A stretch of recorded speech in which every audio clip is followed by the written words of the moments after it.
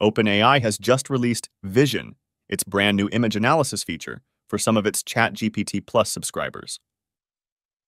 Users can now upload images to the app and get the AI assistant to interpret and talk about them. To test this new ChatGPT Vision feature, we've devised a number of challenges, ranging from basic object recognition to skillfully constructed pitfalls, to see if we can get it to go wrong. First, we'll test if ChatGPT can tell us what to do with this object. Then we'll ask it to count calories and give us recipes based on food pics. Lastly, we're going to trick it with a made-up book. Is ChatGPT smart enough to detect an obvious fake? Or does it blindly identify text and objects without figuring out the higher meaning? In order to use the ChatGPT Vision feature, you need to use the default view.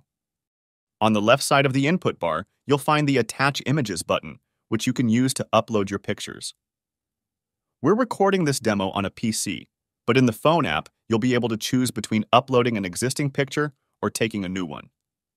If you don't see it, and you're a ChatGPT Plus paying member, it means that you haven't been yet given access to the feature.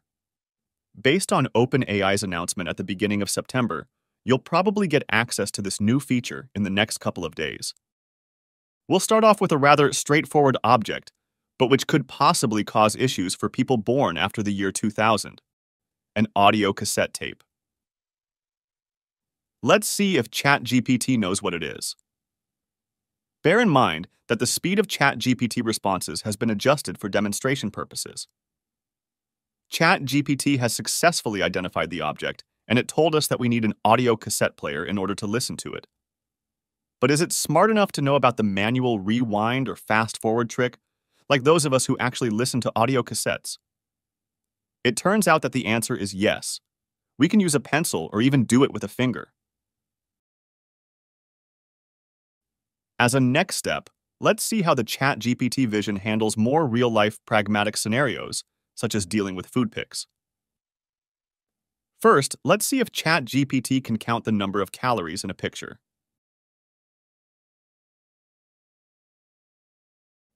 But what if you see something delicious in someone else's Instagram or Facebook feed and want to know the recipe?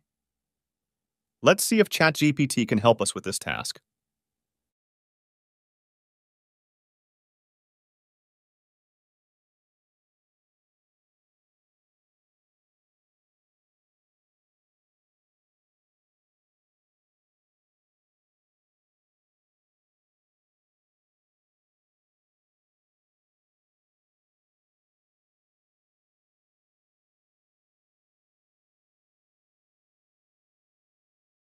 To see if ChatGPT can do more than discern objects and perform character recognition, let's play a trick on it. What if we ask it to recognize a book with a fake author? Socrates is one of the most famous ancient Greek philosophers. However, he did not leave behind any writings himself. Let's take a book written by his student Plato and attribute it to Socrates by changing the author name on the cover of the book in Photoshop. Will ChatGPT figure out that something is not right? It turns out that ChatGPT did realize that something was wrong.